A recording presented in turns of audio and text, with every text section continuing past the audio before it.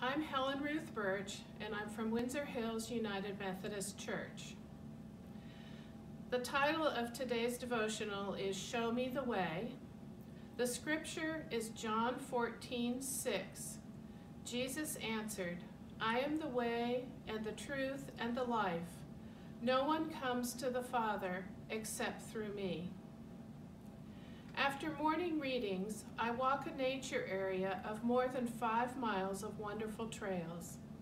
I make a concerted effort to keep my prayers going with Jesus as I walk.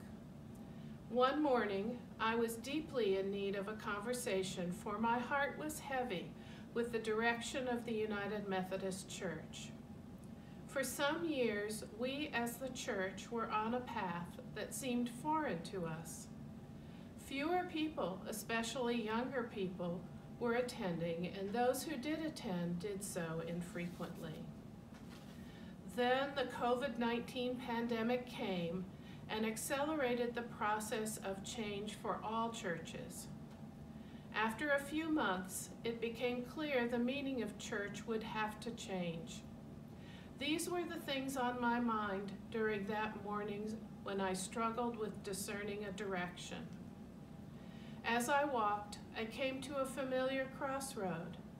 I asked myself, which way today? And then I heard in my head, take the path I have given you.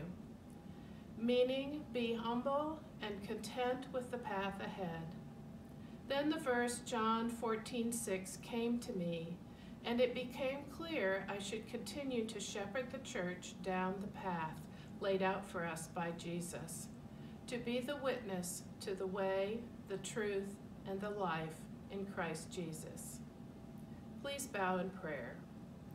Lord Jesus, thank you for your presence and guidance. Help us to trust your Spirit to take us down the right path. In your precious name we pray. Amen.